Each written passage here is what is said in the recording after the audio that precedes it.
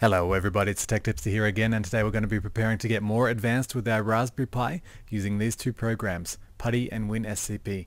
Now you may have heard of the term SSH into your Raspberry Pi and PuTTY is the program that people use on Windows to do this. What it does is allow us to execute commands on our Raspberry Pi from our own computer, just like we would if we were directly connected to it with our USB keyboard.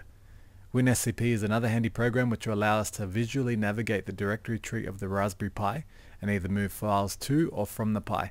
It's really handy for transferring your games as well. Before we start, I'll give you a quick overview on what we will cover, so feel free to jump to the section you're most interested in. The links to all the software we will use are also in the description if you want to download them in advance. To start, we want to connect our Pi to our home network. The easiest way to do this is with a network cable and your router or switch. Simply plug one end of the cable into your router, the other end goes straight into your Pi, make sure power is connected and you're ready to go. Downloading PuTTY is extremely easy. Find the link to PuTTY in the description, click that and you'll navigate to this web page. Once here we simply go to download and that will bring us here and we just want to download putty.exe. It's as simple as that, it's the first link you see. I'm saving mine to my desktop but save it wherever you feel most comfortable and it's as simple as that. Once it's downloaded, no installation is required, it's ready to run. WinSCP is just as simple. Follow the link again in the description and you'll be transferred to this page.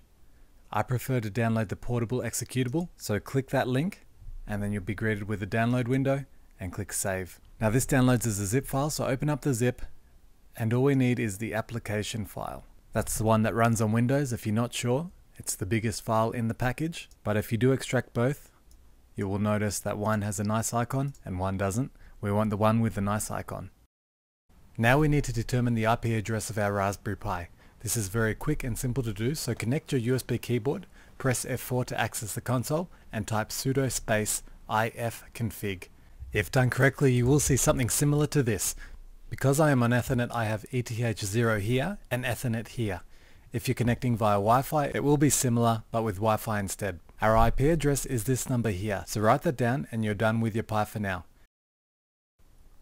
Now we have everything we need to connect to our Pi via SSH. To do this, we want to open PuTTY, which we downloaded earlier. We'll be greeted with this screen. For our host name, we want to put our IP address that we obtained from the Pi. So type this in, just like so. We're going to leave port as 22, and we're going to select SSH. Now what you can do here is type pi and click save and now we'll save these defaults so we don't have to type them in every time we load PuTTY. Once you're done with that it's as simple as clicking open. You'll be presented with a login as and that's when we type our username of Pi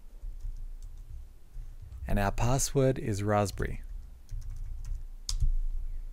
It won't show you the password as you type it but it's definitely going in so just type away and push enter. From here you'll see the usual screen we see when connected directly to the Pi using our USB keyboard and we can type all our commands just as if we we're physically connected to the device. The only thing we can't do is see GUI applications like Emulation Station, but we can browse and enter commands into the terminal, which will make our life much easier when troubleshooting the Pi. We will be using PuTTY in our future videos, so make sure you can get to this point and input some commands if you like to get familiar with this interface. Now let's take a look at WinSCP. This tool is great for visually navigating your Pi's folder structure and also transferring files to and from the Pi. Connecting is just as simple as PuTTY. Copy your IP address to the hostname field and type your username and password just as before. We can leave our port as 22 and the protocol as SFTP. Hit the save button so we don't have to retype this again, choosing to save password if you wish. Click login and we'll be greeted with the Pi's folder structure, allowing us to navigate it just as we do in Windows. Navigate through the folders just as I'm doing on screen, and to copy ROMs, simply drag and drop them into the appropriate folder. WinSCP is as simple as that, so make sure you do have it set up and ready to use because it's a great tool to have with your Pi. Thanks for watching. My next video will be showing us how to install Kodi and set it up like we saw earlier in this video with its own menu, so please stay tuned for that one.